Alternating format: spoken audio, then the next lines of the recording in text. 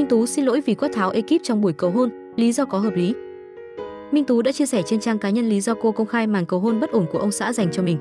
Những ngày qua, Minh Tú nhận về rất nhiều sự quan tâm khi chia sẻ về hành trình tình yêu đến đám cưới cùng chồng Tây, đặc biệt là ở tập 3 sâu thực tế này là chồng Minh Tú cầu hôn nữ người mẫu.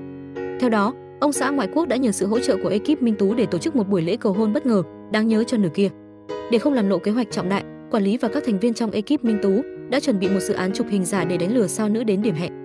Sau khi nữ siêu mẫu hoàn thành phần chụp ảnh, Chris ngay lập tức lộ diện và thực hiện nghi thức cầu hôn. Tuy nhiên, trái ngược với viễn cảnh lãng mạn đã tưởng tượng trước đó, nữ người mẫu lại tỏ vẻ bối rối, gượng gạo và xen lẫn đôi chút khó chịu. Sau đó, Minh Tú nổi nóng và chỉ trích ekip vì đã lừa dối cô, đồng thời khẳng định bản thân không hài lòng với cách làm việc này. Minh Tú cho rằng ekip đã đụng vào công việc, không tôn trọng thái độ làm việc nghiêm túc của cô. Tại sao tôi thành công dù tôi không đẹp nhất, không cao nhất cũng không giỏi nhất? Tại sao tôi có được phần thưởng như vậy? Bởi vì tôi luôn đặt sự nghiêm túc trong công việc lên hàng đầu. Tôi không trách mọi người lừa gạt tôi vì muốn làm tôi hạnh phúc, nhưng mọi người đang đụng vào công việc của tôi. Nó là chén cơm của tôi, Minh Tú chỉ trích ekip. Trong khi ekip Minh Tú cho biết mục đích tạo ra bữa tiệc cầu hôn là vì muốn nữ siêu mẫu có được khoảnh khắc hạnh phúc đáng nhớ trong đời. Tuy nhiên, họ không lường trước việc Minh Tú không hài lòng và có phản ứng mạnh như vậy. Hơn nữa, việc nữ người mẫu dùng nhiều lời lẽ oán trách nặng nề, tuyên bố cắt đứt mối quan hệ với các thành viên trong ekip, khiến họ cảm thấy mình đã làm ơn mắc oán và bị tổn thương. Minh Tú có nói một câu mà mình thấy tổn thương rất nhiều rằng, đối với Minh Tú đó là nỗi ám ảnh trong cuộc đời Minh Tú, đáng lẽ ngày cầu hôn là ngày rất hạnh phúc, vui vẻ nhưng cuối cùng đó lại là ngày mà ai cũng muốn quên đi nhất. Tai họa tới rồi, các thành viên trong ekip Minh Tú nói. Ngay sau khi tập 3 phát hành, Minh Tú nhận về nhiều ý kiến chỉ trích của cư dân mạng. Nhiều ý kiến cho rằng Minh Tú sống cá nhân, chỉ nghĩ đến cảm xúc của mình và không nghĩ đến nỗ lực của người khác. Nếu màn cầu hôn không theo ý cô ấy cũng nên kìm chế lại bởi mọi người cũng chỉ muốn tốt nhất cho cô ấy mà thôi, một ý kiến chia sẻ.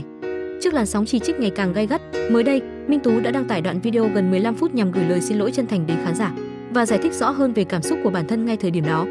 Minh Tú chia sẻ, lời đầu tiên Minh Tú thành thật gửi lời xin lỗi đến mọi người, nếu như sau khi xem hết tập 3 đã mang đến cảm xúc nóng giận, sôi máu.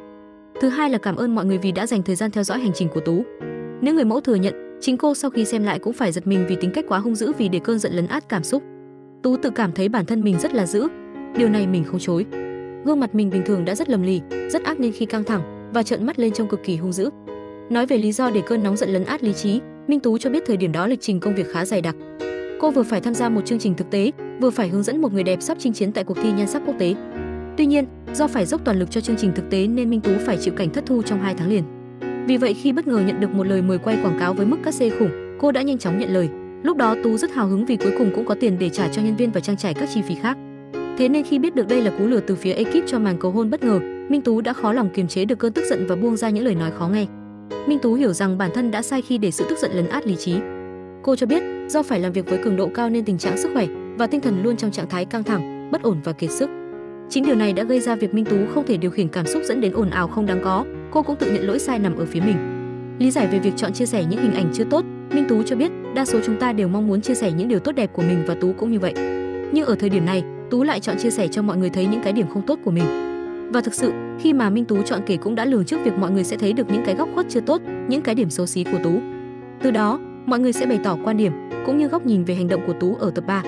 Xong, Tú vẫn hoàn toàn đón nhận và lắng nghe những ý kiến đó dù tích cực hay tiêu cực. Minh Tú chỉ mong rằng từ câu chuyện và sai lầm của mình, các bạn sẽ rút ra được những bài học cho bản thân. Sau màn cầu hôn, Minh Tú và ông xã ngoại quốc đã tổ chức lễ cưới và chính thức đăng ký kết hôn. Minh Tú cũng được nhận xét dịu dàng, nữ tính hơn sau khi kết hôn. Thậm chí bạn bè thân thiết cho rằng Á quân Asia S Next Top Model 2017 từ hổ hóa mèo con khi ở cạnh người bạn đời. Đừng quên theo dõi New 24 giờ sao Việt để cập nhật những thông tin mới nhất.